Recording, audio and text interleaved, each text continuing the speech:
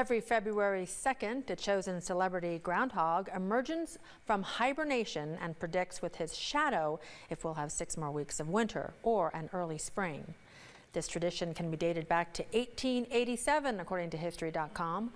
Although the original Punxsutawney Phil lives in Pennsylvania, the newsroom has our own Phil.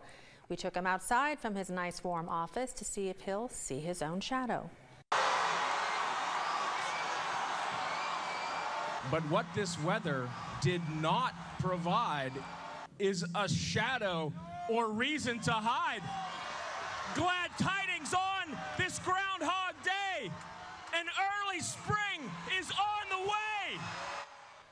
Now, Punxsutawney Phil's predictions are correct around 40% of the time.